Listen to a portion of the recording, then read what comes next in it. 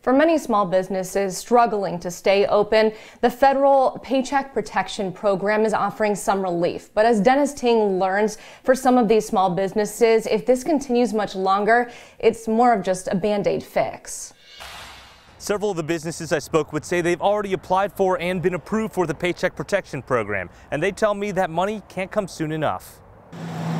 It's the lunch hour rush at the Cheddar Box Cafe in Middletown. But things have looked a lot different this past month thanks to the coronavirus pandemic.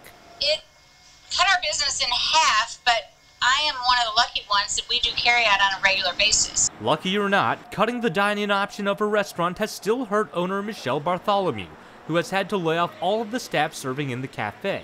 But now, thanks to some help from the Paycheck Protection Program, Michelle says she can bring some of them back.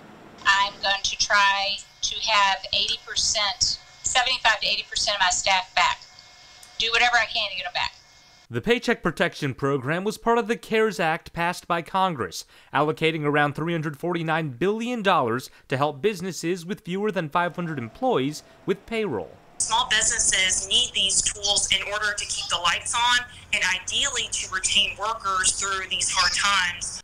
But some worry that money will run out. The U.S. Small Business Administration reported this weekend that banks had already approved more than $182 billion in loans, which is why Greater Louisville Inc.'s Iris Wilbur Glick says Congress may need to do more.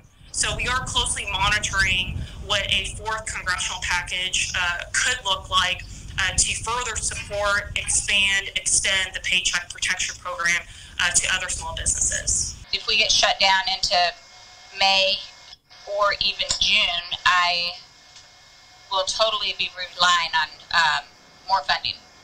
Dennis Ting, WHAS 11 News.